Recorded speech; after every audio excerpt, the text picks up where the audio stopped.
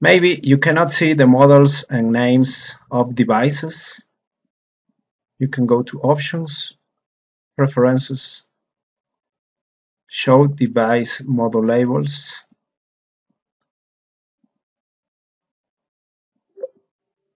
Now you can see the the the model uh, name, show device name labels now you can see the name. Uh, and if you cannot see the link lights options preferences show link lights. Okay close this. Okay you can see the link light. But I want to see the the ports and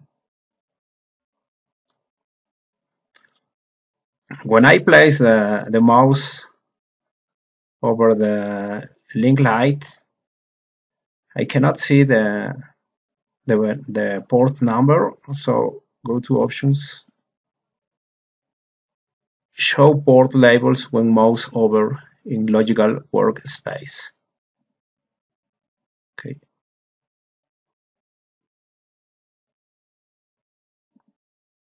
and now. You can see the ports. Very nice. And maybe click on the router. Maybe you have only the config tab. I want to see the command line interface tab and also the physical interface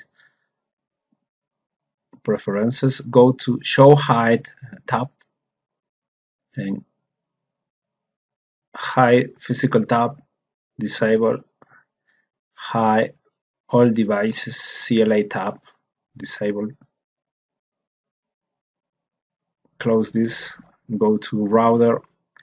Now you can see the physical the physical tab and command line interface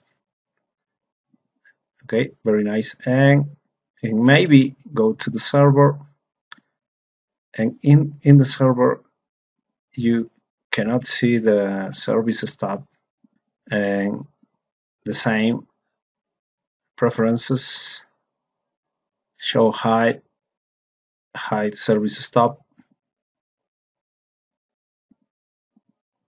click on the server now you can see the services tab to enable HTTP, DHCP, DNS and other services.